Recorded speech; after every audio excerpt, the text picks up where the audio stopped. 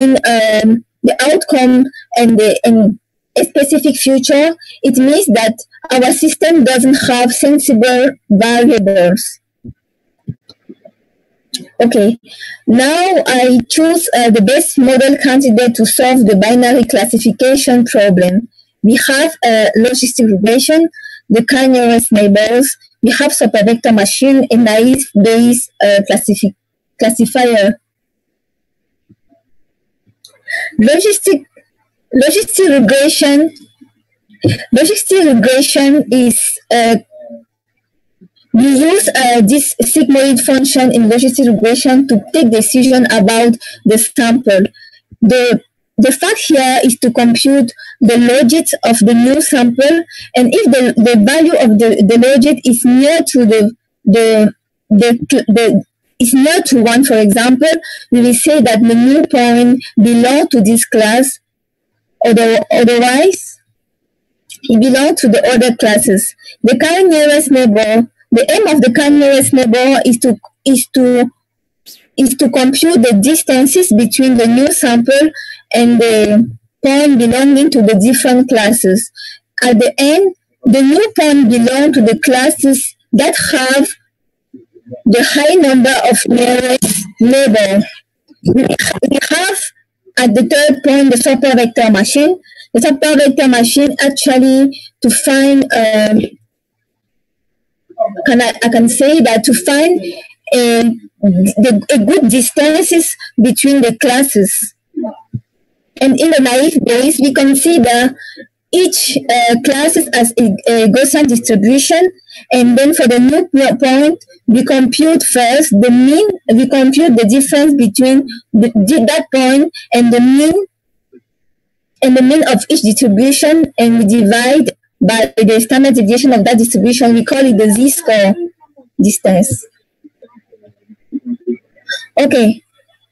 After doing this, uh, I start uh, to learn, I start to train the model, these models, and to choose uh, the suitable models uh, for the, the problem. I was I, I used the learning curve. Why I use the learning curve? Because when uh, based on the learning curve, you can actually see if the number of sample is enough to solve the problem. You can check the, vari- the variance in your model and many other things. Here, in the first figure here, we can see that for the logistic regression, for example, uh, in green, we have the cross validate the validation score. In red, we have the learning, we have the, training score. We can see that um, the validation score is still growing. It means that the model has not converged. And we can assume that if we add a more sample to this model, we can probably get a better score. And we, I do the same for all these models. Here we have uh, the Gaussian naive. We have the k-nearest neighbor here. We have the SVM with linear kernel here. We have the SVM with um, radial basis function here kernel. We have the here SVM with polykernel, polynomial kernel. So uh, for all this model, the first the first uh, remark, the first observation is that they all need uh, data, enough data to perform well, because the number of samples for training was relatively slow. Okay, to evaluate the model, uh, as we said, the as I said earlier, the metrics are very important to choose the right model. And here, because we are dealing with classification problem with unbalanced uh, data set, uh, we choose to use uh, F1 score. And to understand F1 score, you should first know what is true positive, false positive, false negative, and true negative. Actually, true positive is the number of sample of positive class well predicted. False negative is the number of sample of negative class predicted as positive. False negative is the number of sample of positive class predicted as negative, and true negative is the number of sample of negative classes well predicted. For this, for this uh, value, we can compute what we call precision and recall. Precision actually give um, the give uh, precision uh, give the quality of the model in predicting a specific class based on the number of samples belonging to that class. And the recall uh, give the quality of the model as predicting a specific class, but ba- based on all the data, all the sample in the data set. And then we have the F1 score, which is kind of average of uh, precision and recall. So based on this matrix, we have a for logistic regression, we have as uh, F1 score this result, which is not that bad. But if we go in the confusion matrix, we can see that this model predicts well, predicts 10, 10 uh, predict well uh, 10 sample from negative class, for, for, for negative class and others. For SVM with polynomial kernel, we have this result. We can see that if we just um, if we just uh, take into account the accuracy, we will choose here the logistic regression as the, the suitable model to solve our problem. But when I was training this model, I didn't I didn't take into account that the data the data set was unbalanced. So I just trained the model like uh, the classes are represented the same way in the in the tra- in the training set, but it's not the case. When I waving the classes in the training set, the SVM, the score of the SVM uh, SVM with polynomial kernel is improved. This this uh, this result show us that uh, if we take into account uh, the representation of classes in the training set, we actually improve the final result. Okay, as I said in conclusion, we will make the relationship uh, between bias, AI, and society. Bias comes from the learning process and the society. It means that most of most of the case, you can even take into account the right matrix, the right model, make sure that your data set is clean, is well represented. But if at the end, those who take decision to um, about your about your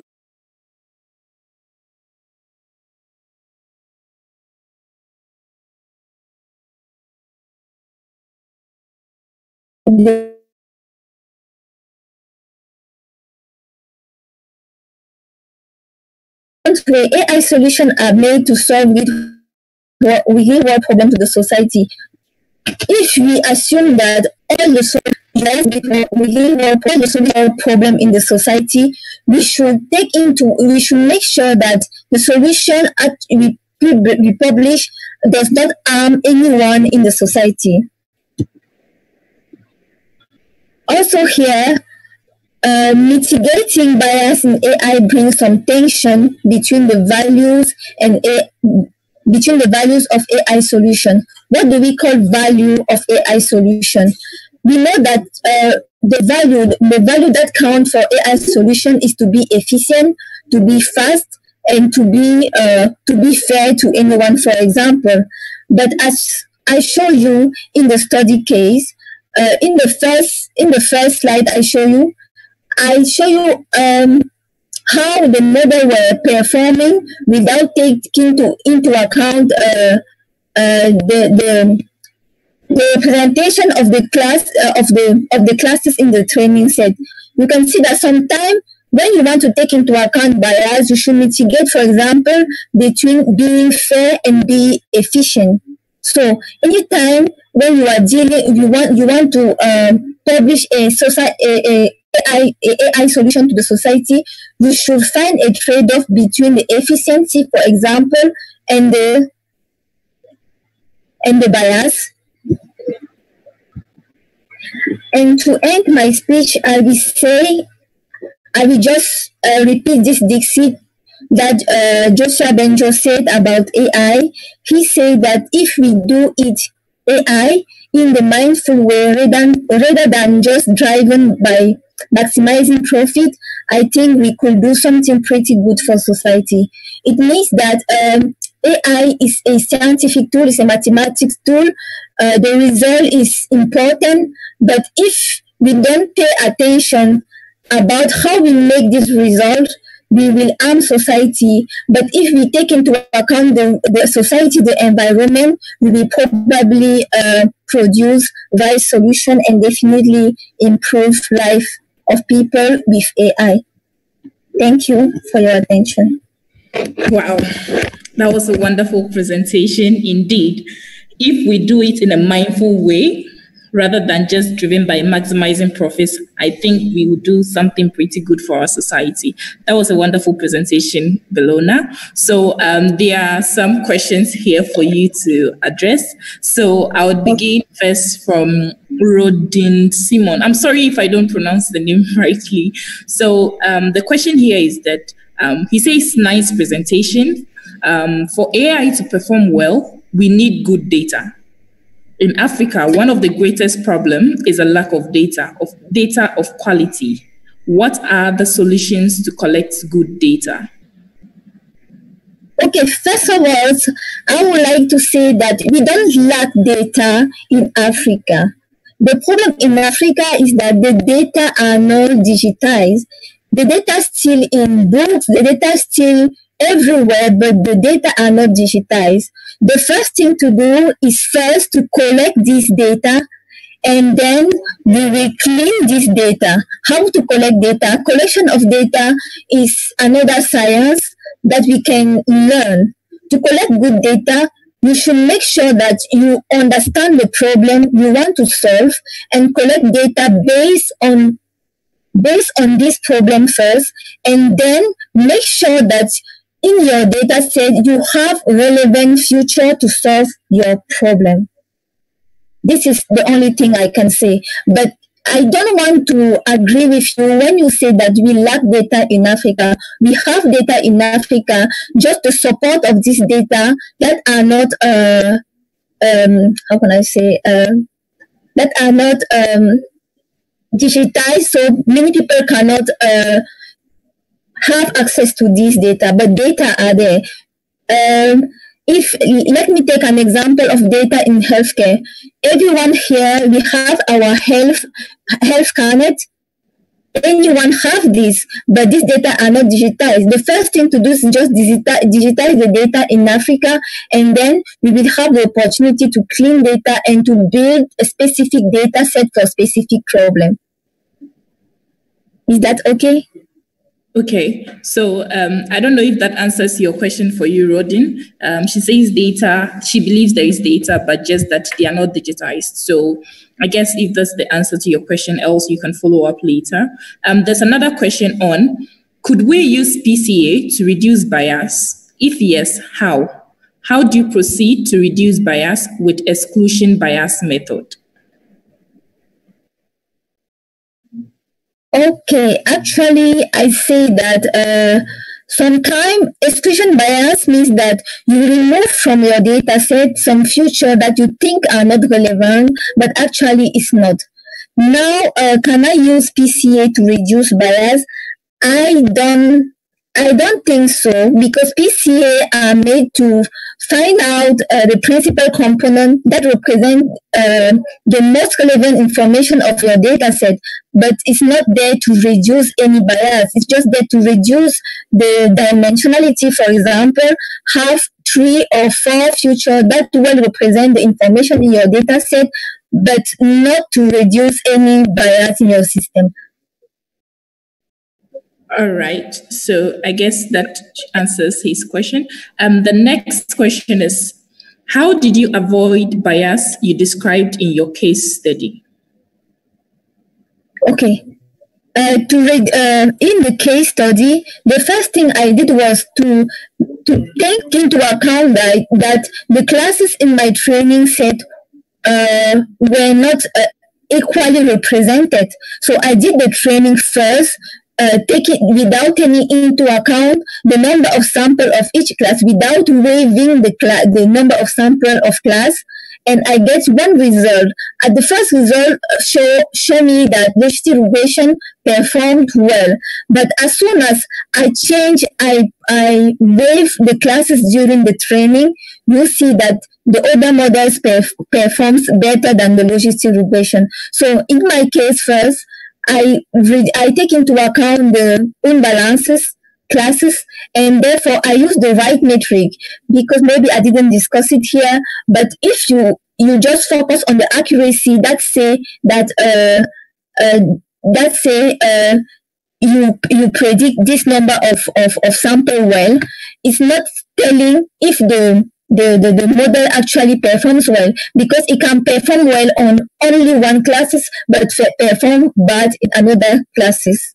But F1 score actually gave you this opportunity to see if your model performed well on each classes in your training set. So in this case, the first, the two things I do, I did was first to take into account the unbalances in my training set and also use the right metric so here I avoid the algorithmic bias and also I try to um, I try to solve the imbalance uh, bias I got in my training in my training sample training set. Okay. All right. Thank you very much. So, um, Bellona, thank you very much for your presentation. Um, actually, if you have further questions, um, you could either contact Bellona. Uh, Bellona, I hope you don't mind if you can leave your email address in case anyone has a question or a follow up. No, it's fine. It's fine. Okay. It's fine. So, and, and also, they would want access to the slides. Are you available to provide the slides to people who would want? Yes, of course. Okay. All right. So she would leave um, the slides and then um, her email address. So in case you'd want to have access to the slides or you want to contact her on a later date. So um, thank you once again. And would want to continue with um, Clotilde. She actually was supposed to present first, but unfortunately she had issues sharing her screen. So we'll begin with her now, um, but she'll be presenting in French. And so, but the slides are going to be in English, so you can follow along as well. So I would want to invite Clotilde now to begin her presentation.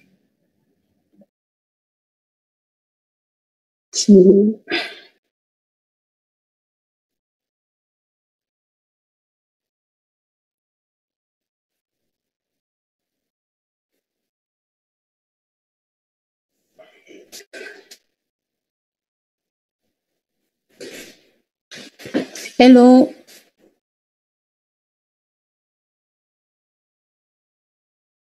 Hello. Est-ce que vous me suivez?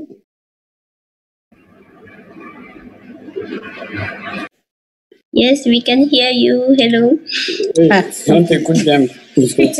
D'accord, je voulais m'assurer. D'accord, je me présente, je suis Clotilde Duquesne et donc je vous remercie pour l'occasion et surtout concernant ce qui est de la vulgarisation des mathématiques en tant que femme qui émerge dans le domaine, c'est un honneur pour moi. Alors aujourd'hui, je vais vous présenter la modélisation et le contrôle d'un champignon au nom d'Emilia baltatris. C'est un champignon qui attaque les feuilles du café.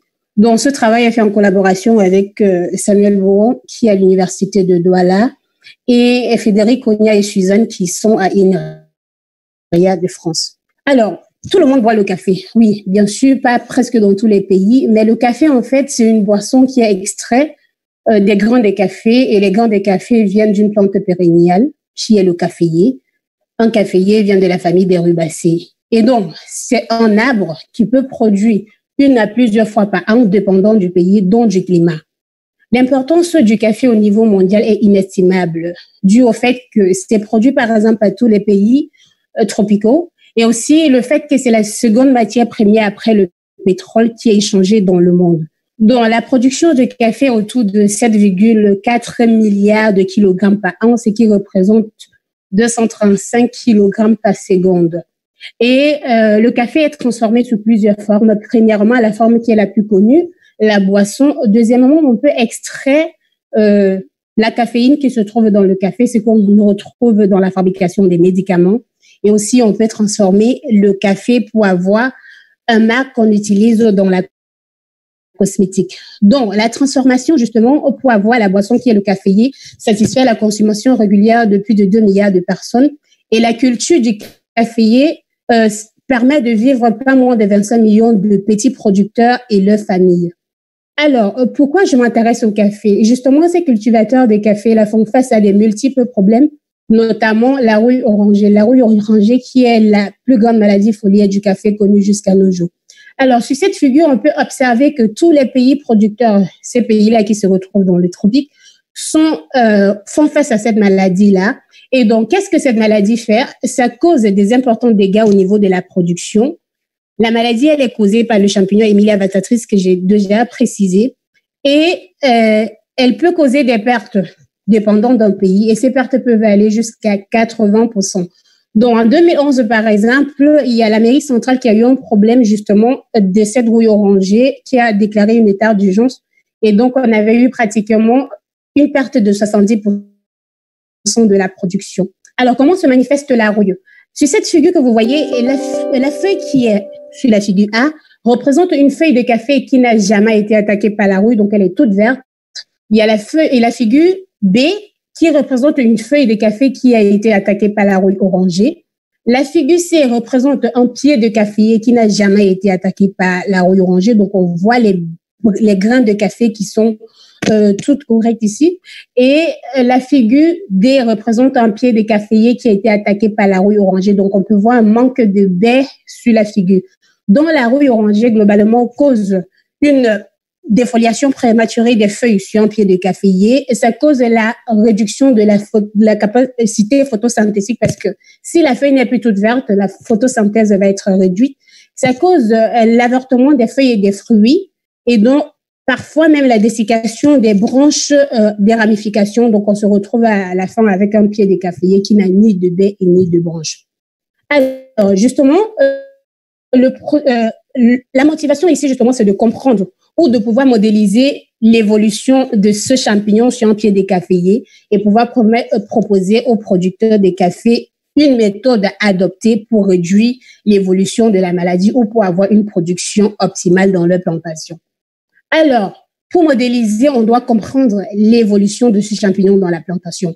Comment est-ce que le champignon évolue dans une plantation de café? Le processus commence par la dispersion des urodoses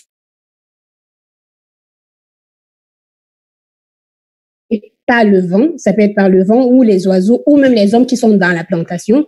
Donc, lorsqu'il y a la dispersion, les urodospores se déposent sur les feuilles sur la partie supérieure de la feuille. Et lorsque les conditions sont favorables, les conditions favorables ici représentent la pluie, euh, représentent, euh, ça peut être l'humidité. Lorsque les conditions sont favorables, les urodospores vont aller sur la partie inférieure de la feuille et pénétrer par les stomates. Cette phase peut durer deux semaines et voire plus, et c'est la phase intermicellaire. Et une fois que cette phase progresse, on va voir les taches jaunes qui vont apparaître sur la partie supérieure de la feuille quelques semaines après. Ces ajustements vont progresser et produire à nouveau les urodospores pour, pour commencer le cycle ou produire les téliospores qui sont la forme de reproduction sexuelle du champignon. Mais les téliospores n'infectent pas de café, ils ont peut-être une autre intermédiaire qui est inconnue jusqu'à nos jours. Alors, utilisons cette étape, ces étapes du cycle de vie du champignon. On a pu faire des hypothèses et représenter une modélisation justement dans une plantation de café. Alors, pour cela, on suppose que dans la plantation, on retrouve quatre états d'infection. Il y a d'abord les branches de caféier qu'on suppose susceptibles. Et ces branches de caféier n'ont jamais été en contact avec les spores ou les urodospores, qui est la forme de reproduction asexuée du champignon. Il y a les feuilles latentes. C'est les feuilles sur lesquelles les urodospores sont en train de germer. Il y a euh, les branches, pardon, les branches sur lesquelles les urodospores sont en train de germer il y a les branches infectieuses, c'est les branches sur lesquelles les feuilles ont une infection, c'est-à-dire que dans une plantation, vous pouvez directement voir les taches sur ces branches-là. Et il y a les feuilles retirées. Les feuilles retirées, tout simplement parce que lorsque euh, les urodospores progressent sur une feuille, euh, pardon, les branches, les leafless branches en fait, les branches qui n'ont pas de feuilles. Donc, lorsque les urodospores progressent sur une feuille, il y a une nécrose et à la fin, les feuilles vont tomber. Donc, on va retrouver exactement une branche de café qui n'a plus du tout de feuilles. Et donc, il y a la classe des urodospores qui est U et la classe des baies de café que j'ai noté B. Le processus dans la plantation commence par le recrutement des branches susceptibles dans la plantation. parce qu'il y a une croissance de la plante. Et la croissance, ici, on a supposé constante. Dans certains cas, on peut supposer autrement. Donc là, ici, on a supposé cette croissance constante. Et lorsque les urodospores se déposent, comme on a dit, ça peut être les animaux ou les hommes qui transportent. Donc, lorsque les urodospores se déposent sur les feuilles, et lorsque les conditions sont favorables, avec le taux ici qui est oméga, dont le taux de dépôt des urodospores est nu, et lorsque les conditions sont favorables au taux oméga, une partie des, des branches susceptibles, pour dire une spore ne peut pas infecter toutes les branches, dont le N qui est ici représente le nombre total des branches qu'on retrouve dans la plantation. Donc, lorsque les conditions sont favorables, les branches susceptibles vont devenir les branches latentes. Les branches latentes, à leur tour, vont progresser pour devenir des branches infectieuses. Et θ, ici, qui est le taux de progression, ensuite, θ représente juste la durée de latence. Et les, les branches infectieuses, quant à elles, étant donné que sur ces branches-là, on retrouve la production des spores, elles produisent les spores au taux gamma. Et une fois qu'elles ont produit les spores et que les spores vont nécroser, ces branches-là vont tout simplement devenir les leafless branches ou les branches retirées. Et auto-alpha. Et ensuite, alpha représente la durée de la sporulation. Alors, on suppose que toutes les branches sont affectées d'une mortalité naturelle parce que même si euh, il y a la maladie, on peut avoir la mortalité des branches par dépendant du climat. Donc, on a une mortalité naturelle qui est mu-m et la mortalité D qui est la mortalité due à la rouille orangée. On a mu-u qui représente la mortalité des spores. C'est leur perte de possibilité ou leur viabilité à pouvoir infecter les branches. Et il y a la mortalité des baies de caféier. Alors, toutes les branches sont capables de produire des baies. Vous avez forcément vu sur la première figure que j'ai présentée, les branches susceptibles produisent au taux gamma 1 multiplié par S et c'est gamma progressivement pour toutes les autres branches. Gamma 1 est supérieur à gamma 2, supérieur à gamma 3 et supérieur à gamma 4. Tout simplement parce que lorsque la branche, la maladie progresse sur une branche, elle produit moins. Et donc, ceci, en fait, représente ce qu'on peut dire la saison de production. Dans ce modèle, c'est un modèle de la saison de production euh, de caféier. Et la saison de production, c'est dépendant d'un pays. Dans le cas du Cameroun, par exemple, cette saison de production représente la saison pluvieuse. Ici, c'est la raison pour laquelle j'ai noté, c'est la saison pluvieuse. Donc, dans d'autres pays, on a plusieurs saisons, mais là, je me suis basée sur le cas où on a juste deux saisons, la saison pluvieuse et la saison sèche. Donc, si je passe à la saison sèche, il y a une mortalité additionnelle que j'ai appelée nue. Cette mortalité est due à la récolte parce que à la fin de l'année, par exemple, il y a la récolte qui se fait dans le cas du Cameroun entre octobre et décembre. Et lorsqu'on fait cette récolte, y a une façon de récolter qui détruit parfois certaines branches. Donc, on a une mortalité qui est due à la récolte. Et si je regroupe le modèle de la saison sèche et le modèle de la saison pluvieuse, je retrouve tout simplement un modèle global le modèle que je vais simuler, mais dans l'analyse, je vais faire juste l'analyse du modèle de la saison sèche et de la saison pluvieuse. Et ici, on peut constater que la production des baies est dépendante du temps. Dépendant du temps, ça veut dire, lorsque je serai en saison sèche, gamma I serait égal à zéro. Et lorsque je serai en saison pluvieuse, j'aurai tout simplement gamma. Et lorsque je serai en saison sèche, mu de T serait égal à mu. Et lorsque je serai en saison pluvieuse, mu va être égal à zéro. Et ici, on peut voir, il y a un retour, il y a un, ajout dans la classe des U par les U, et ça, c'est la diffusion. Cette diffusion est due au fait que le vent transporte également les urodospores. Et donc, si je représente ce modèle sous la forme des équations mathématiques, j'obtiens tout simplement ceci. Et donc, on a une équation au dérivé partiel qui représente l'évolution de la rue orangée dans une plantation de caféier. Alors, le premier constat qu'on peut faire sur ce modèle, c'est sur le fait que euh, la dernière équation, elle n'est pas du tout présente dans les autres équations. dans l'analyse mathématique, on ne va pas du tout considérer cette dernière équation. Alors, on associe les conditions initiales à ce modèle. Donc, pour la condition initiale, on supposera qu'au début, donc vous êtes dans une plantation, on suppose qu'il n'y a pas de rouille orangée. Et là, on aura toutes les branches qui sont malades qui vont être égaux à zéro. Et les urodospores, c'est les urodospores qu'on va ajouter au début dans la plantation et voir l'évolution. Donc, pas de baie également. Et on va considérer que juste à la fin de la saison, on a supposé par exemple que ça pouvait être le mois de novembre ou de décembre, il y a directement la récolte des baies. Donc il y aura une chute qui va aller à la chute qui va aller vers zéro. On ajoute également les conditions au bord. Ces conditions au bord supposent juste que la plantation dans laquelle où on travaille ne laisse rien entrer ni sortir. Donc justement, on a une condition au bord de type de Neumann. Alors, Pour l'analyse mathématique, comme j'ai dit, je vais séparer le modèle de la saison sèche et de la saison pluvieuse et je vais juste, j'ai juste trouvé une interconnexion entre ces deux modèles-là.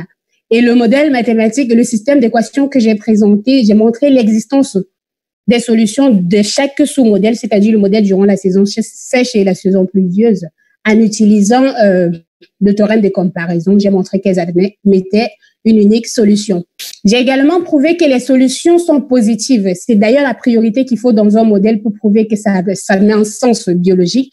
Donc, on montre que les solutions sont positives et invariantes. Ces solutions restent dans ces domaines qui sont donnés ici. Et j'ai calculé ce domaine en faisant juste la somme des quatre premières équations du système. Alors, j'ai calculé les équilibres sans la maladie, les équilibres, c'est-à-dire que toutes les branches susceptibles, pardon, toutes les branches infectées sont égaux à zéro et donc j'ai trouvé les points d'équilibre sans la maladie durant la saison pluvieuse et les points d'équilibre sur la maladie durant la saison sèche.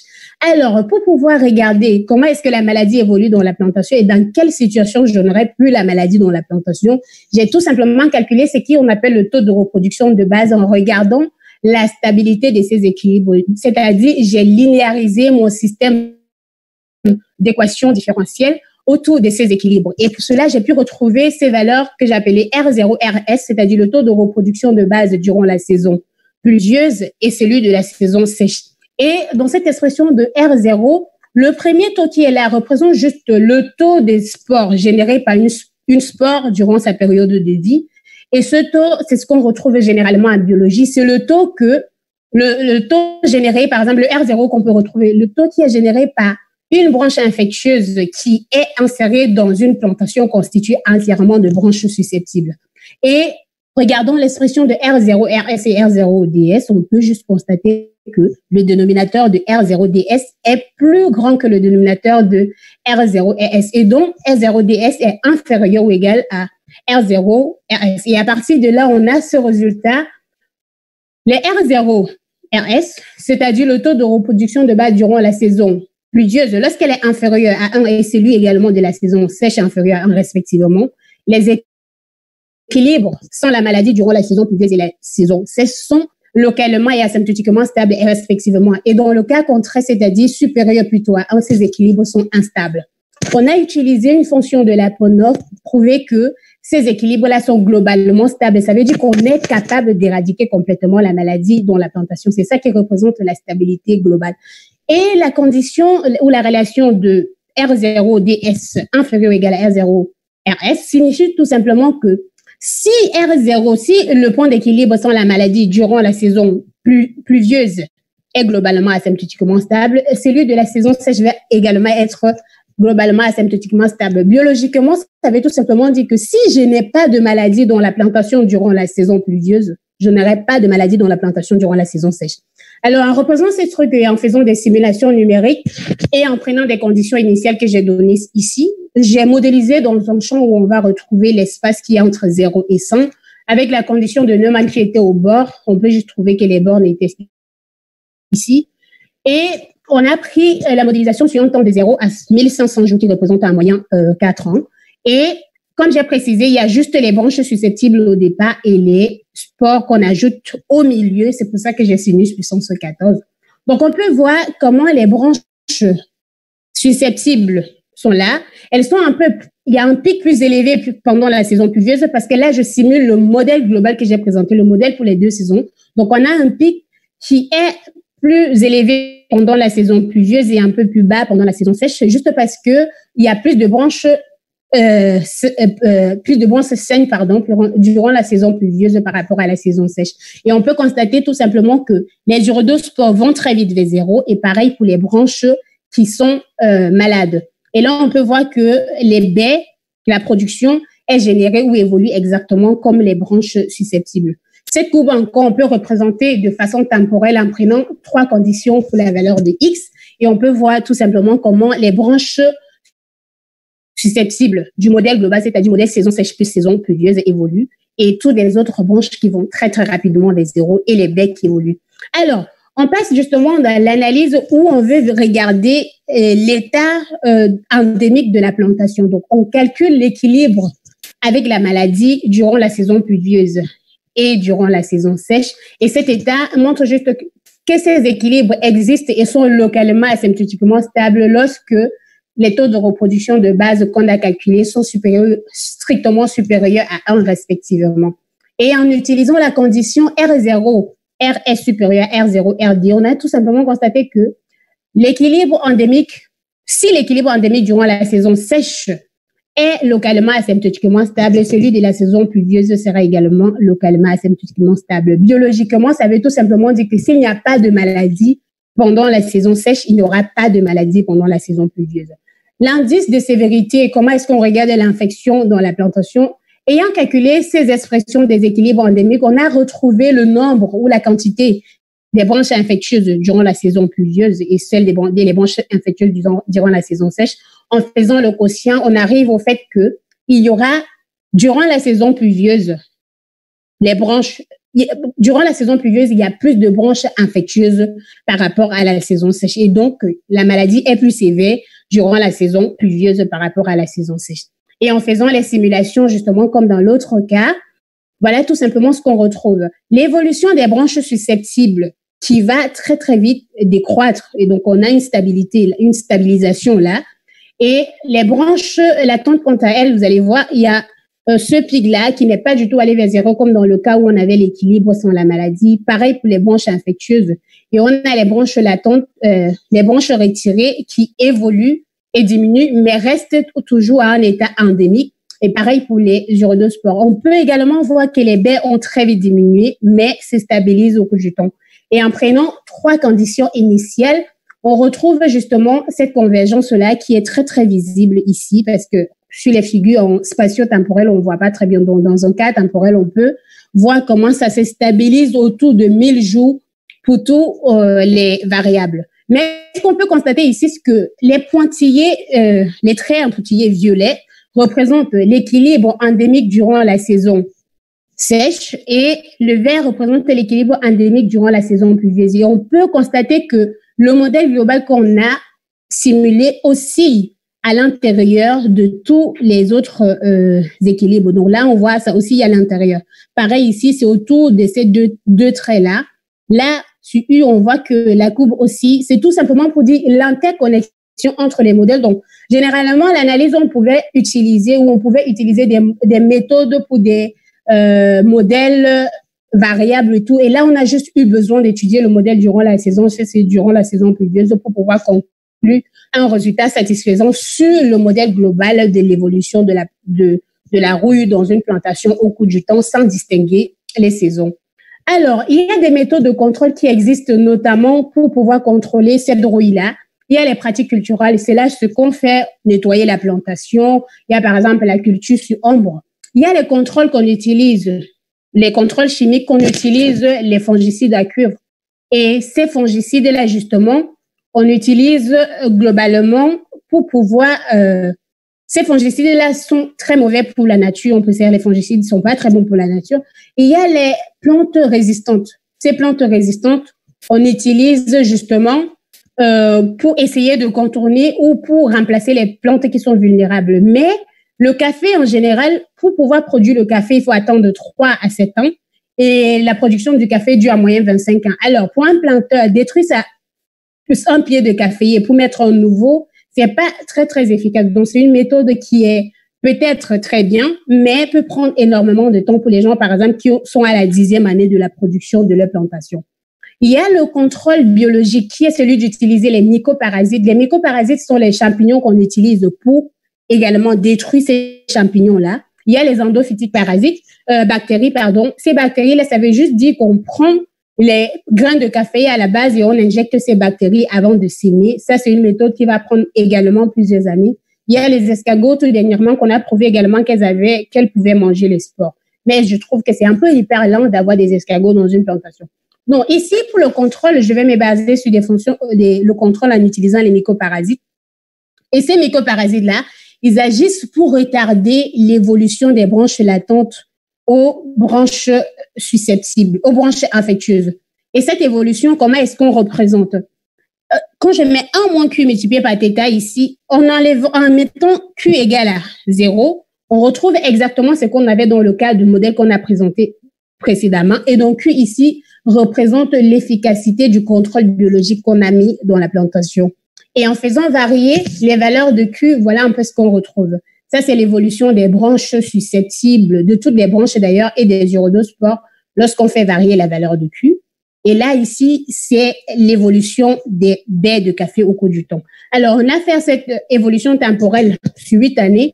Et donc, on a comparé les résultats qu'on aura à la huitième année sur la production de café. Et lorsque je fais varier la valeur de Q de 0 jusqu'à 1, premièrement, quand Q égale à 0, c'est-à-dire pas d'efficacité, c'est-à-dire pas de contrôle dans la plantation, on retrouve le nombre de baies, c'est tout simplement 33,2 multiplié par 10 exposant 100, ce qui représente une perte de 80% de la production de café, ce qui représente bien ce qu'on avait au départ, estimant la perte qu'on peut avoir avec la rouille orangée.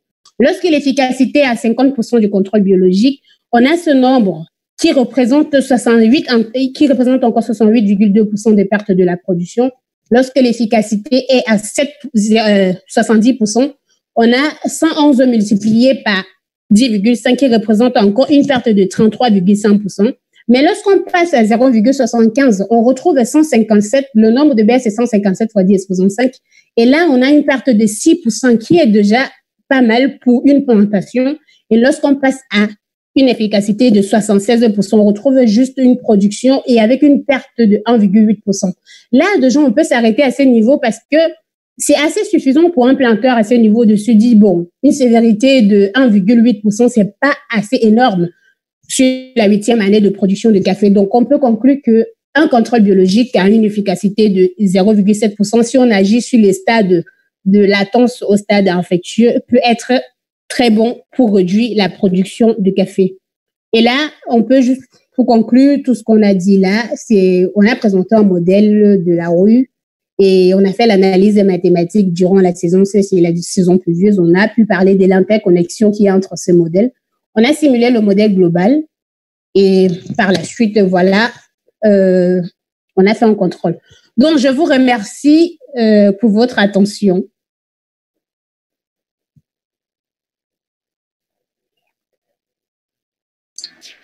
Merci beaucoup Clotilde pour ta magnifique présentation. Euh, on va prendre quelques questions dans le chat parce qu'il y en a plusieurs et certains sont en français, donc c'est pour ça que je prends la parole à la place de Déborah, juste pour maintenant. Euh, la première question est How do you justify the choices of the Neumann boundary conditions? Is this realistic? Thanks for your brilliant presentation par Emmanuel.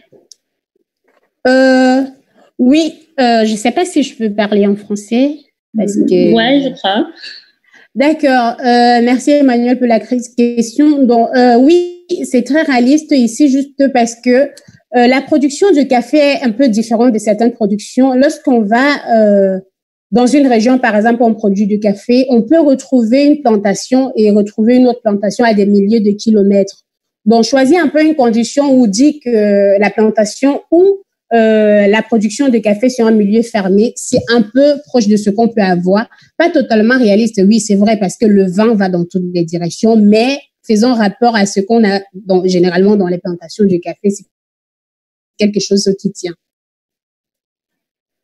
Ok. Euh, je vais à la prochaine question par Sika. Avec quel outil avez-vous effectué vos simulations? J'ai utilisé MATLAB. Et en utilisant MATLAB, j'ai discrétisé euh, le modèle en utilisant les différences finies en ajoutant le nom standard dans, euh, dans, le, dans la discrétisation. Ok. Euh, il y a Michael qui aimerait bien que tu reviennes sur le slide où tu parles de la solution positive et invariante. Ok, je peux prendre la parole directement une fois que tu reviens là, s'il vous plaît. Oui. Ok.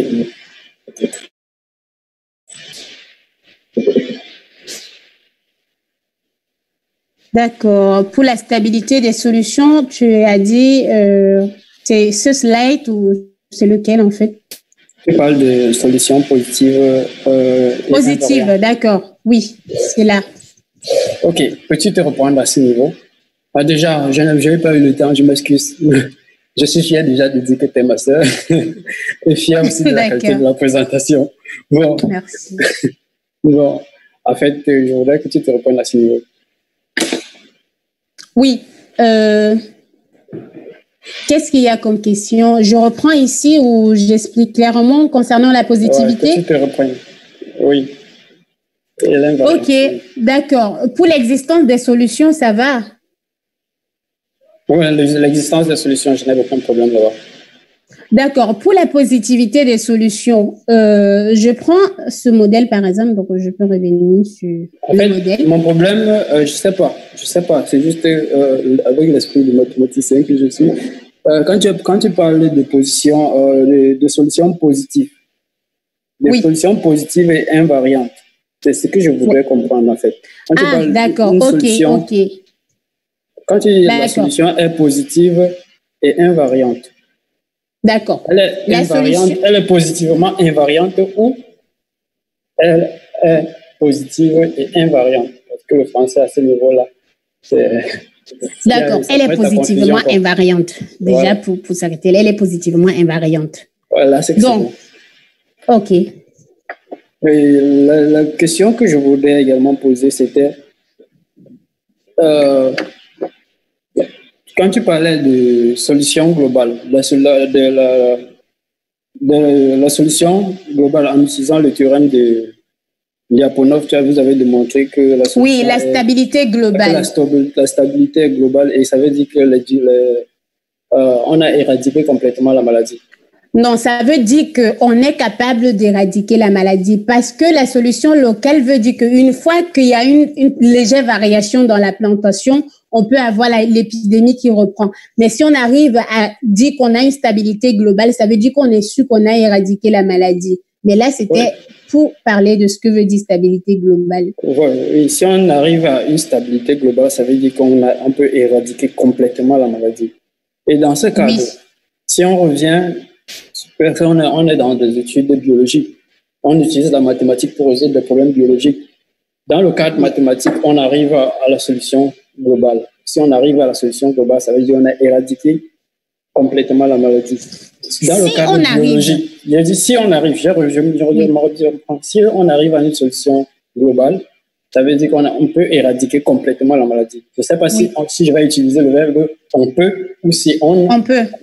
On aura éradiquer complètement la maladie. A, parce que le fait de pouvoir, le fait de. En fait, si on dit on peut, ça veut dire qu'il y a aussi des possibilités qu'on ne puisse pas.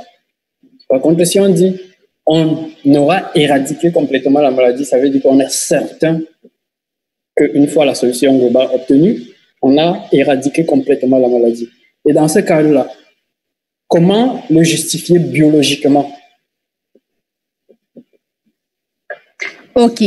D'accord. Bon, euh, je ne sais pas si c'est le terme utilisé on peut qui pose problème. Non, après le français. Je, je, ne sais pas, je ne sais pas, je ne sais pas. Je voudrais dire si on peut. Si tu dis on peut, ça veut dire qu'il y a des possibilités qu'on ne, peut, qu'on ne puisse pas éradiquer. Oui, en fait, si on arrive à une, stabilité globale, c'est surtout ça, en fait, je veux dire, si on arrive à une stabilité globale. Mais donc, si on a une stabilité globale dans la plantation, on conclut qu'on a éradiqué la maladie. Si tu voilà, ça veut dire que si on a une stabilité globale, la maladie est complètement éradiquée. On est, sûr est complètement éradiquée dans la plantation. Puisqu'on est donc sûr de ça, comment le justifier dans le cadre biologique?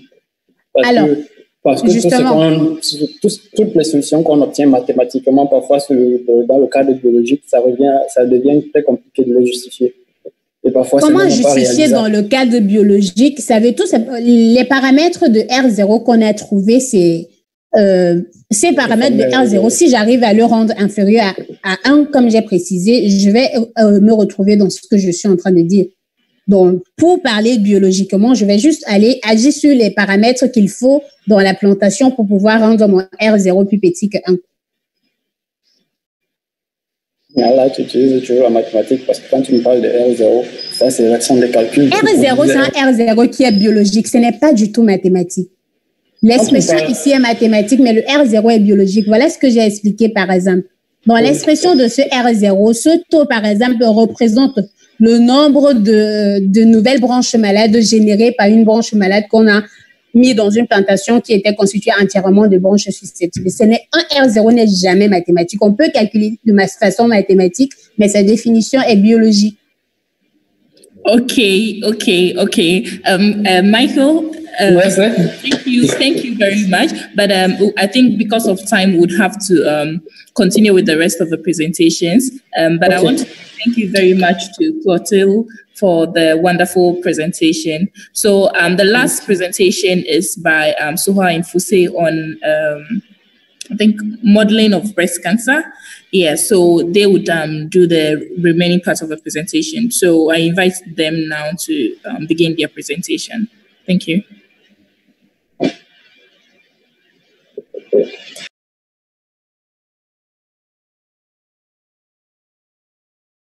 Clotilde, s'il te plaît, tu peux arrêter le partage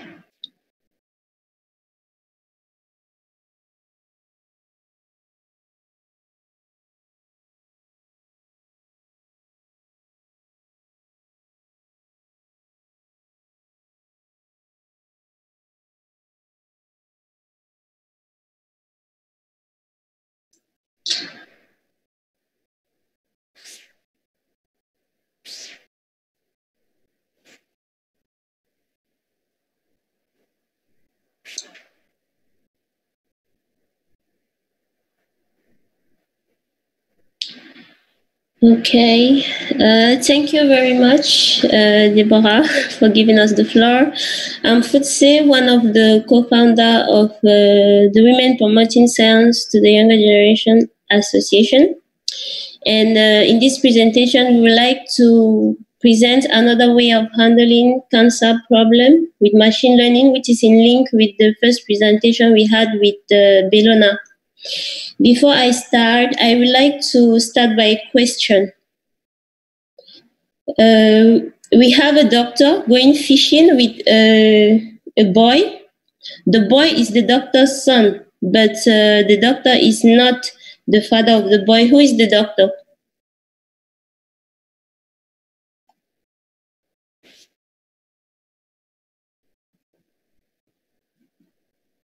You take back the? Pardon? Will you take back the question, please? I mean, uh, we have a doctor going fishing with a boy. The boy is the son of the doctor, but the doctor is not the father of the boy. Who is the doctor?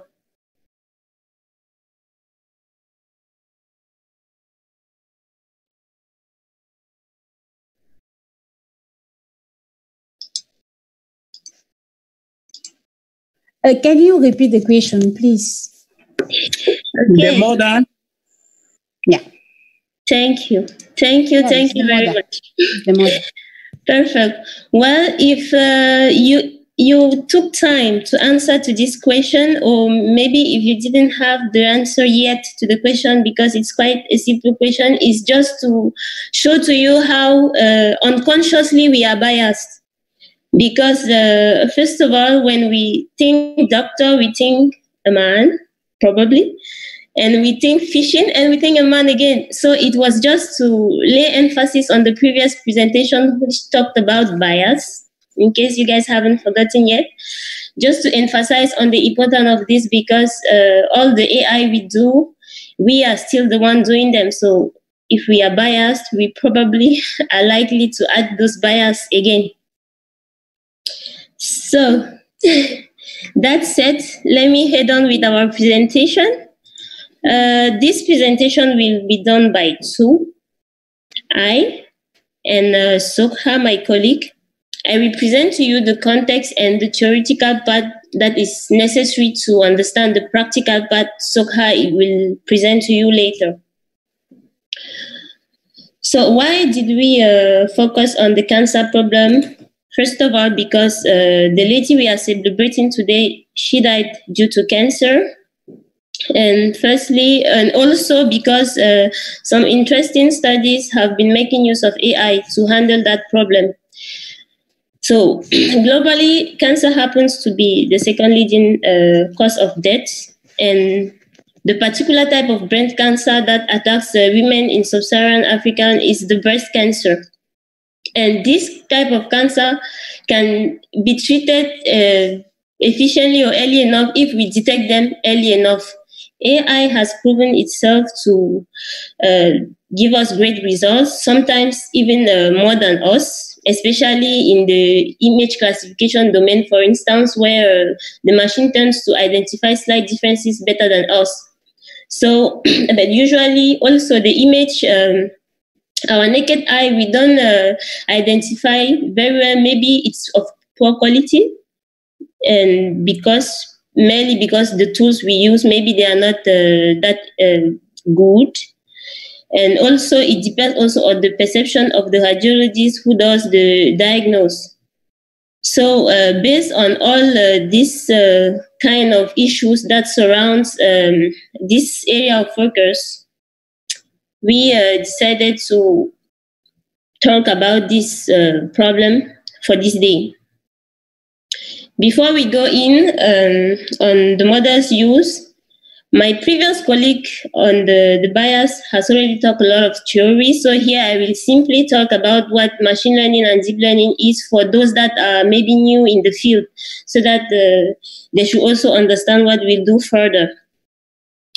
Machine learning is simply as the name implies, machine learning a lot of definition of machine learning exists on the internet, but I picked out this one because to me it seems to use terms that are familiar and easily understandable to us. So it simply says that it is the science of getting computers to learn and act like human beings, to improve and improve their learning over time in an autonomous fashion by fitting them with data, information in the form of observation and real world interactions. So basically, just as us humans, we learn from past experience. Here, machine learn from past history, which is the data, and the main aim is that they should learn automatically without being explicitly programmed.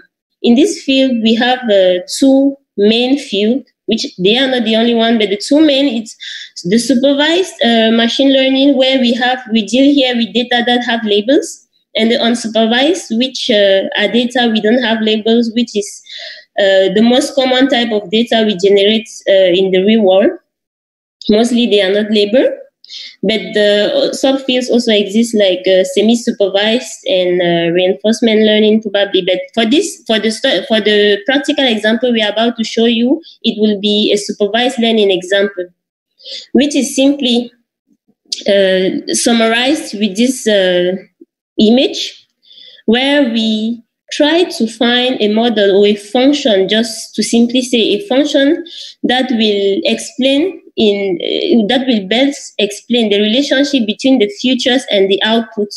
Features here are what we send into our model, and the outputs are the labels we have. So once we successfully train a model so that it can uh, efficiently guess the output, we test it on a new sample which he, it hasn't seen before and see if it gives us good results. One, that is done. Yeah, we can be happy and proud that we just got a good machine learning model that can do the job. So in this machine learning, there are other algorithms that uh, are more complex because uh, they help to handle tasks that are more complex. And in this field, we have uh, we term them deep learning. It is that field that uh, take all those methods that use um, uh, neurons, basically inspired by how our brain functions. So to demystify deep learning, I choose these two diagrams which clearly shows the link between a neuron a, a biological neuron and an artificial neuron. Where here, um, I like to take this example when you touch an, a hot object and you have the reflex action to immediately remove uh, your hand from the hot object. Well, uh, in layman biology, I will say that uh, it is the neuron, the, the sense uh, cell that were responsible to detect uh, the hot send information to another neuron, which send another information until it reaches the right neuron responsible to stimulate what is supposed to remove your hand immediately, and that done very fastly. So in deep learning, uh, basically it imitates this method where we have uh, our artificial neuron. But here in our nucleus, here we have uh, a function that does the same job tries to uh, try to have uh, find parameters of that function that will best explain uh, the relationship between the input that it takes and the out the desired output we want to handle. And this is mainly when we have complex tasks like image classification translation or or we have audio data whatever the problem is. Usually this is when uh, we have um, complex problems and of course the functions will probably be nonlinear or, and more complicated so with this image, I want to simply summarize how uh, this, uh, these neurons usually work. In artificial neural network, we usually build a neuron with many layers depending on the complexity of the problem at hand. Once we, uh, during the training process, we pass in data and we make the guess of the output. Once it fails, the error is used to help go backward and adjust the parameters and do the thing and do it again and do it again until we get a model that uh, can that understands which are the key features necessary to detect the desired output with one. And with the same principle of supervised learning explained before we take in a, a new image that it hasn't seen before. And here, an exa- the example that was taken was the image of a dog passed to the mother, and it gets a dog, and yeah, we're happy again, and we have a good mother. So this model have proven to be uh, successful in image processing and uh, also in uh, games, some games, for example, where we saw the, uh, the case where the champion of AlphaGo was beaten by a machine. But yet still it is very challenging because it needs huge amount of data to train this model and have a, a model that uh, studies well and give significant results. and of course, it is computationally expensive. In the literature, many researchers have uh, seen it very to be very important in uh, contexts like computer vision and image processing. And as such, it has also been used in help to, in, to help optimize uh, the diagnosis result from um, for doctors, which in particular we added here a work, a, just a recent work done by Nan Wu and uh, his colleague, where they proposed a DNN to improve radiology's performance for breast cancer screening. The paper is in the presentation for those who would like to check it further. So here I want to present a little bit, uh, not going deeply into the biological part of it, but just what helps us to understand why with an image we can handle this problem. The most common type of uh, breast cancer is the invasive ductal carcinoma in the breast. That is what uh, we want to detect. So often, a biopsy is done to remove small tissues of samples. And in addition, six cells needs to be located to find out uh, to what level uh, the disease is and uh, what should be done. How should we handle it? And this is usually done manually.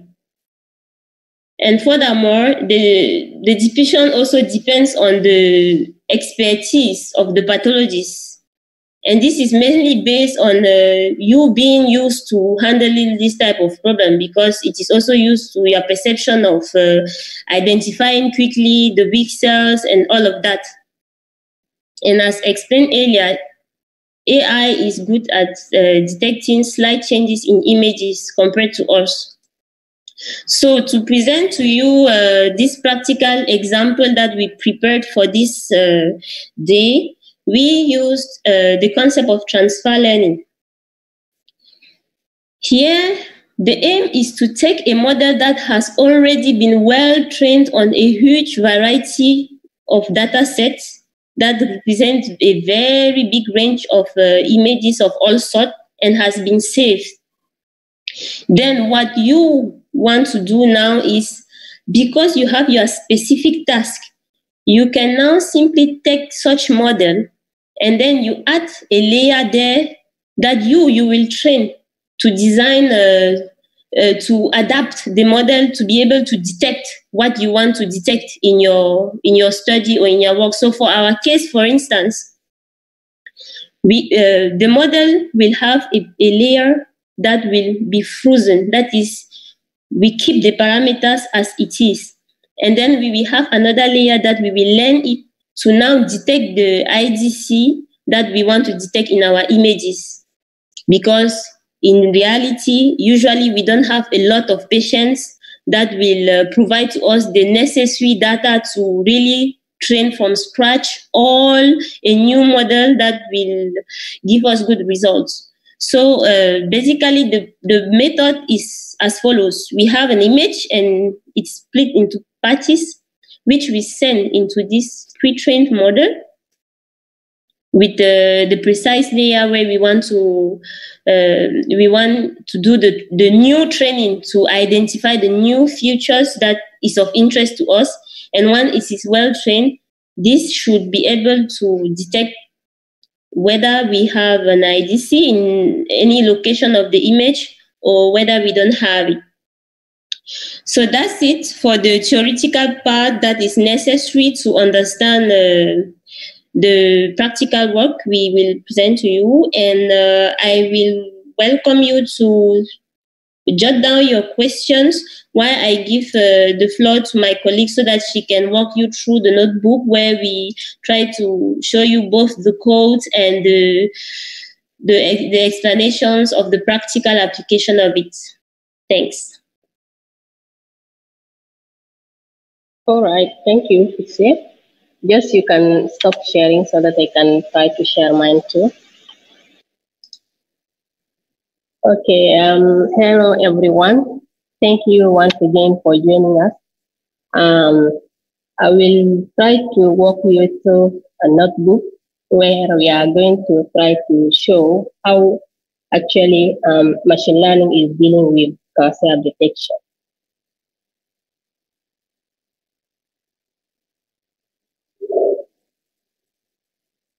All right. Hope you can see my notebook.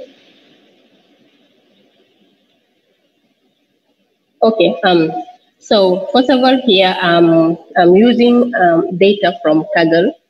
For those who know Kaggle, Kaggle is a platform where you can find a lot of data and then also um, practice your your knowledge in machine learning, uh, data science. If you did not register yet, you can go and register on Kaggle and then try to train yourself on machine learning and uh, data science.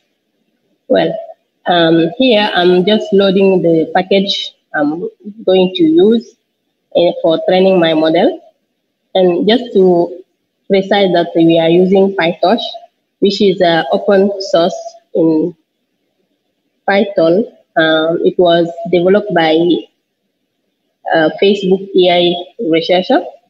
Um, then here, we try to load our data set. So we have this data set, the breast histopathology images, again, which is in Kaggle. And then we try to see what kind of data exactly do we have, and then the length of our data set.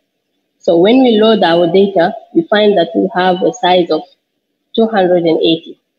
But then what is this 280?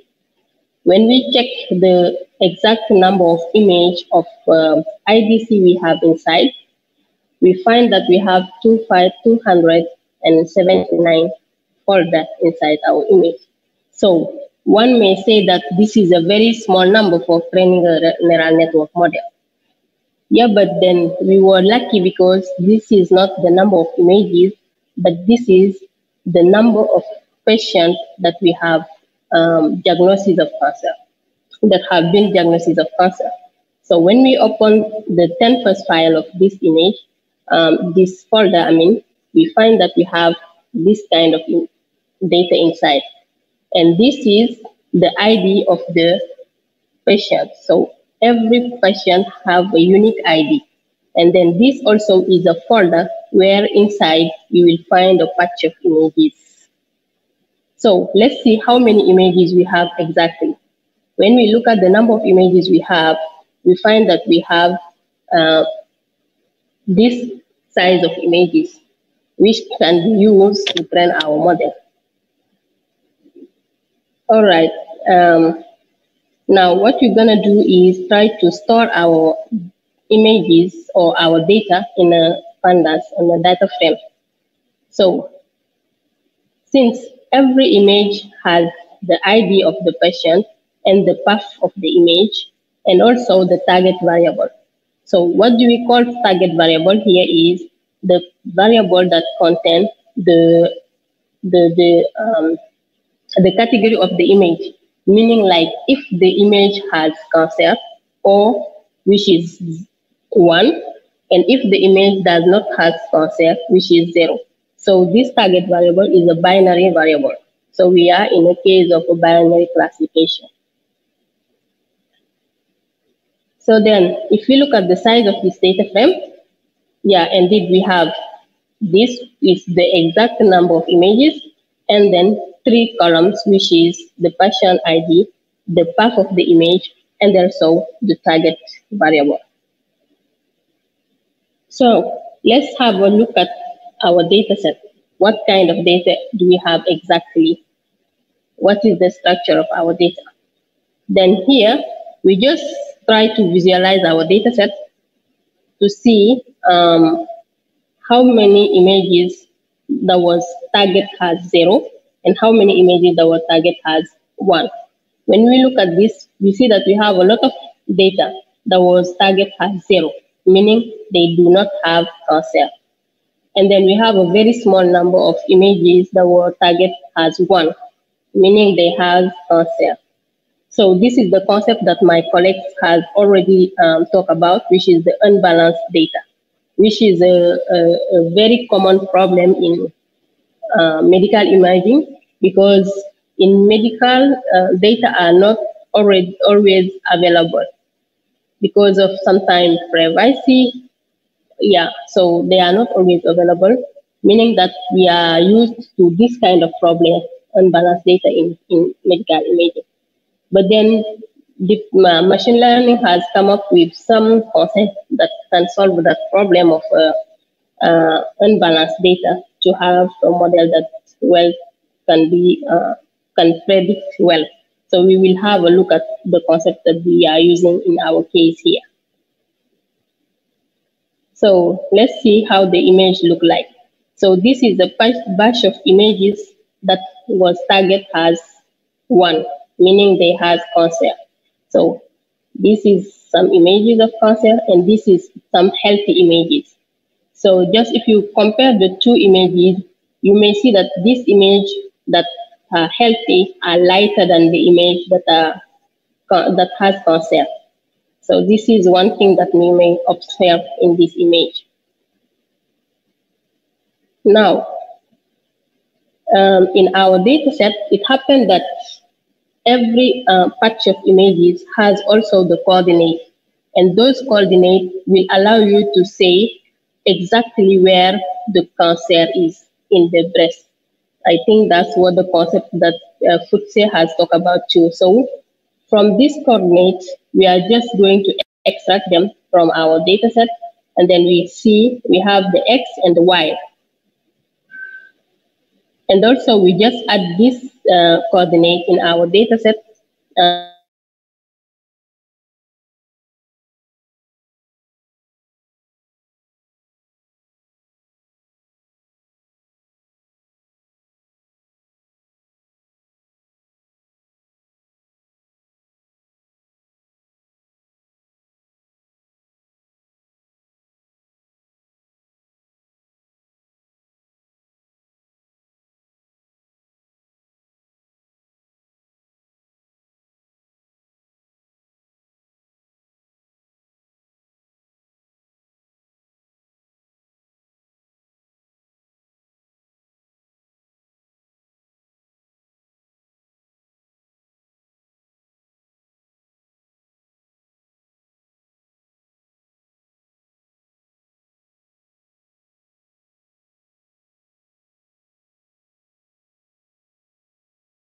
Hello, can you hear me?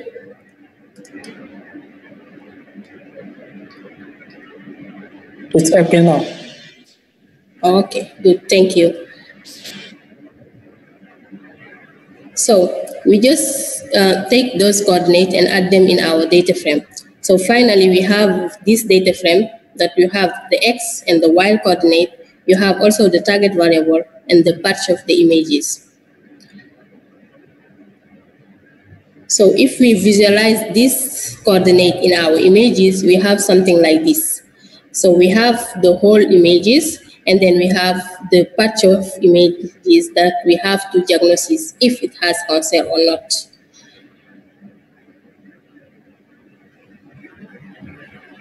So if you visualize this in our real images, it's how we it's gonna look like. So we have here an image that we did not visualize the coordinate.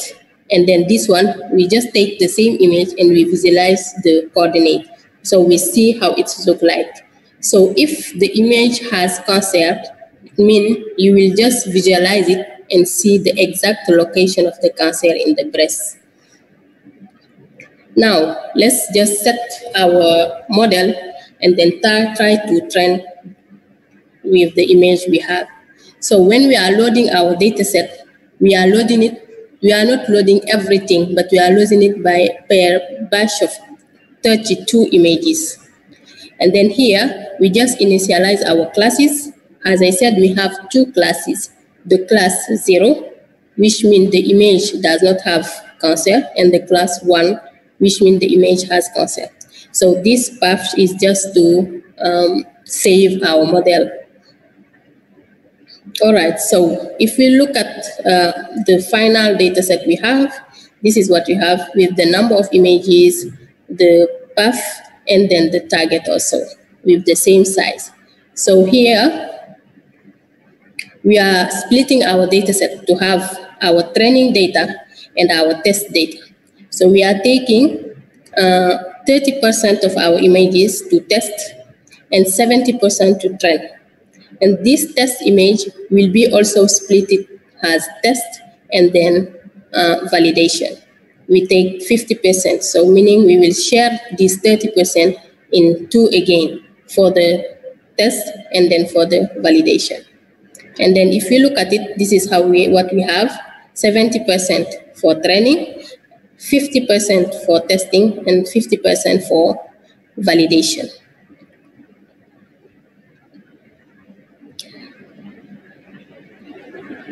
All right.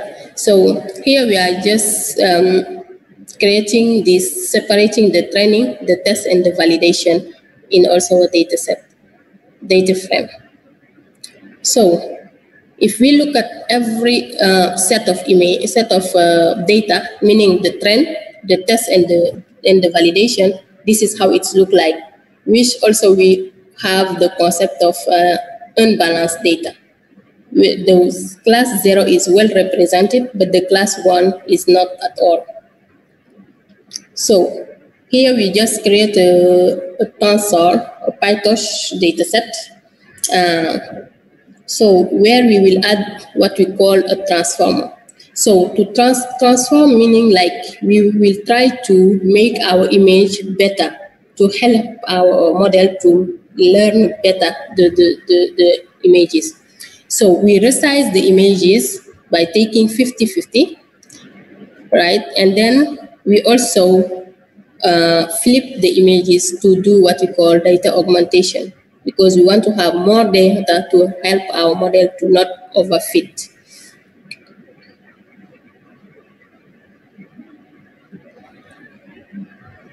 And we also normalize, meaning we will try to uh, normalize our data set to have the same um, mean and standard deviation. And here we just create our dataset now that we will use to train the model, get the index, the image, and the label of the, the, the image, and then also the patient ID and the coordinate.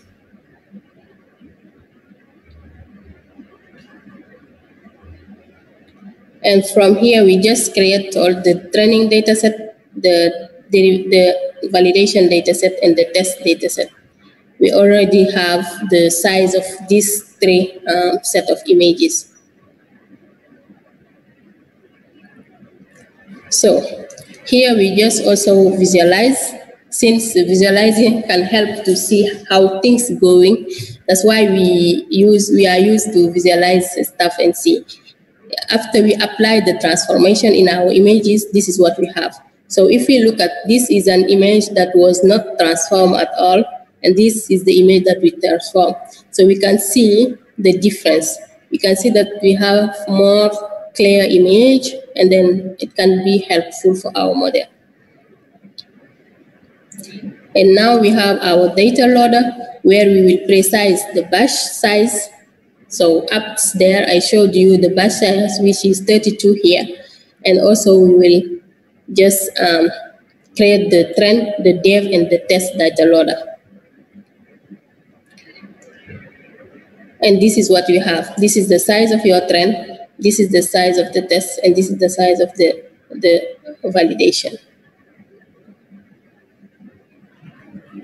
How has Fuste already uh, precise? We are using here a pre-trained model, and then we're gonna be uh, put the running training to false because we want we don't want to train again everything of our model. We will just um, pre-train like train just the last layer of our model, and then also we set our uh, learning rate. Finding learning rate to false because we don't want to look for the learning rate, but you can also set it to true and then look for the best learning rate for your model. Here we define our model. We are using here ResNet 18. So ResNet 18 is a convolutional neural network that was pre-trained in ImageNet for those who are familiar with it. Uh, ImageNet is a very big data set um, that contain a lot of images with a thousand of classes. And then here we will use that model that were already trained, trained uh, in ImageNet and use it to train our um, data, our image data here, which is uh, the IDC concept. So the, the problem, it can be a problem here because the, the pre-trained images are very different from cancer detection, they are very different from medical imaging. So this is also a problem in image image um, classification because most of the model that were pre-trained, they were not pre-trained on image data. They were pre-trained in different things. But then we are going to use them because we don't have enough data to train a model from scratch. So this is how the model look like. The ResNet 18, if you look at at the end, you have a linear layer, which is a fully connected layer, with the number of target is 1,000. But in our case, our target is just two, zero and one.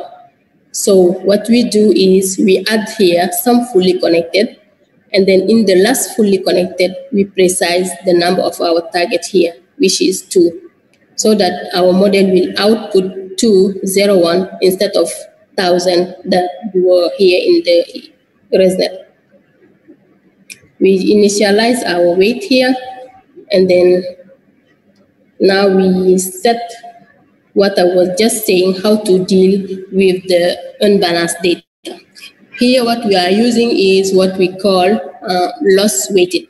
So what we do is we will take the class that was well represented we give it a very small uh, weight. Here, in our case, is the class zero.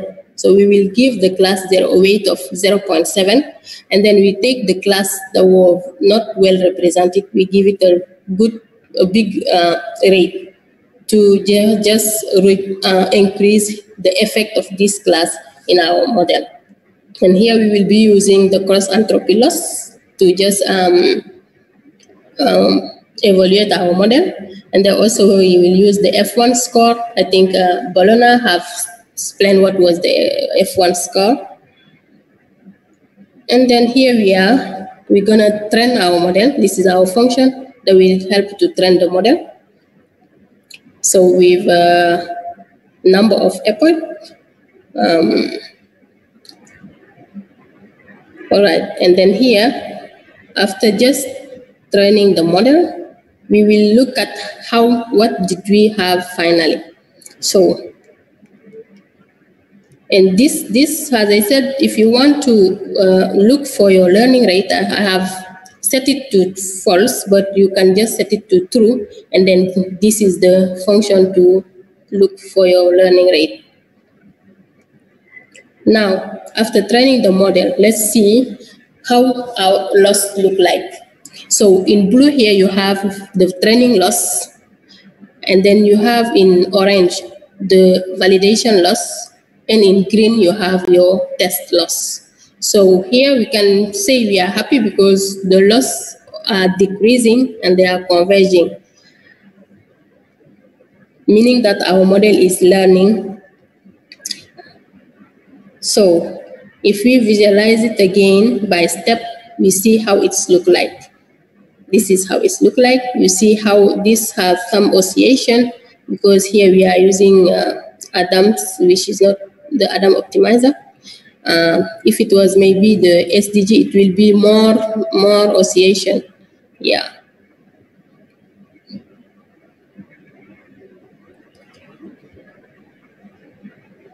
So now we are going to just evaluate the model by looking at the, the accuracy and then see how the model is performing in our data set. So if we look at it, we have in our uh, validation uh, accuracy of 8, 82 and then accuracy of 83 for our test, which is not bad because we did not um, do a learning rate finding and we did not also train the model too much. So if you can, you can get more than this if you do your learning rate uh, finding to share, to look for the, the best learning rate and then also maybe try to find a way of uh, doing more data augmentation, all the stuff, it can increase your model. So let's look, have a look at the result we have here. We have a table where we have the true value, the predicted value, the probability, and then also the coordinate and the ID of the patient. So this example, we have this batch of images that was target has zero, and then our model also predicted has zero with a probability of 0.2. And this is the coordinate of this batch of images. So meaning this image does not have cancer. The model say that this image does not have cancer with a probability of 0.2. So you have also this case of image that has cancer and the model predicted well too. The true value was 1. The model predicted 1 with a probability of 0.7, which is high. And then you have also the coordinate and the ID of the corresponding patient. And then if we visualize it now as images, this is what we have. We have the, the breast tissue, which is the initial, and then this part of the image is the part that is colored in red, which is the part that was diagnosis of cancer. So if you look at it more, this is red, more the probability of this part having cancer is high. So we just visualize using the probabilities. And this is how it's look like when you visualize it.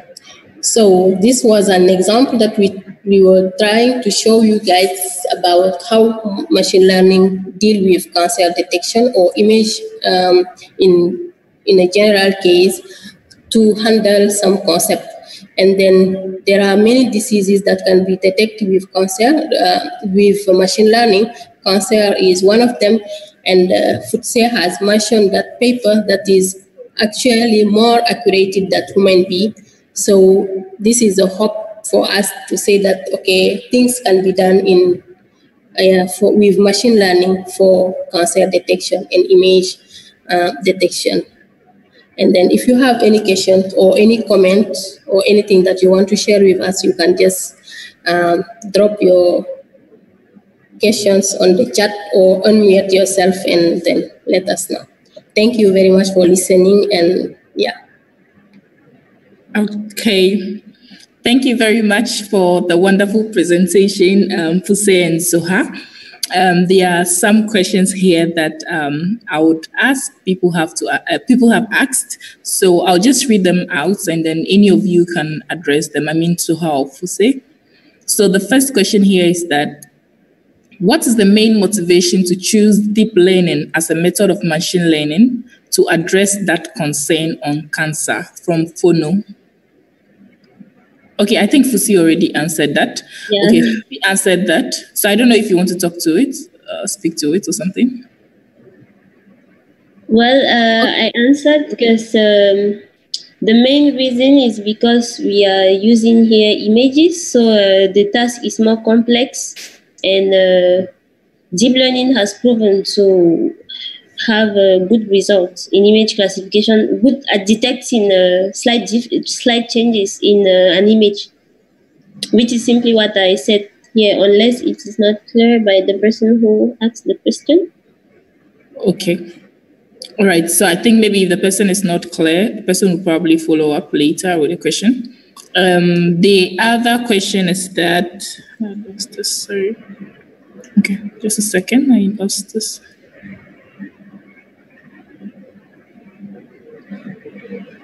Okay, so the other question is that what are the operations performed in the pre-processing stage? Thanks for the presentation from Emmanuel.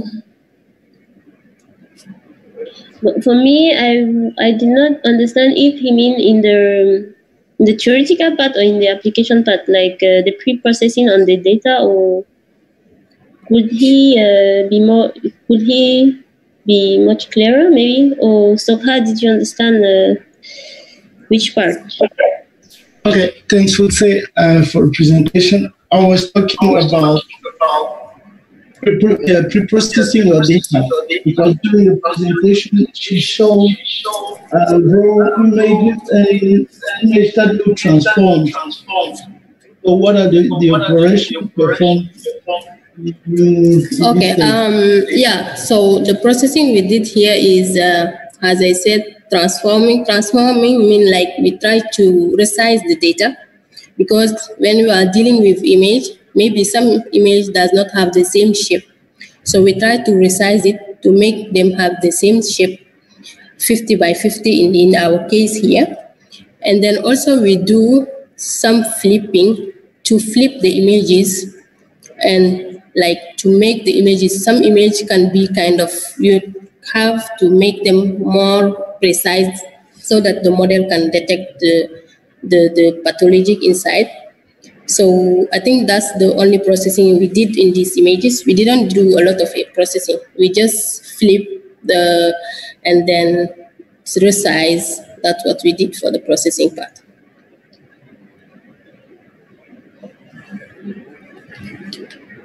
Okay. Um, the next question. The next question. Um, what motivated you to resize the image by 50 for your presentation? Nice presentation by Emanuela again. Victor Emmanuel. Okay, so what motivated us to? What motivated you to resize the image to 50 by 50? Oh, okay. So that's, uh, I think it's just optional. You can choose it's because when we check um, the images, most of them was 50. So we just decide to um, just resize everything to 50. But this is optional. You can you can also like resize it more than 50 because it will just um, make your image more precise. You can you can resize more than 50. It was something optional. Okay. All right. So um, they're asking if they can have access to the um, notebook as well and the presentation slides. Yeah, sure. So we will combine everything in a GitHub repository and uh, share it with you. All right, great.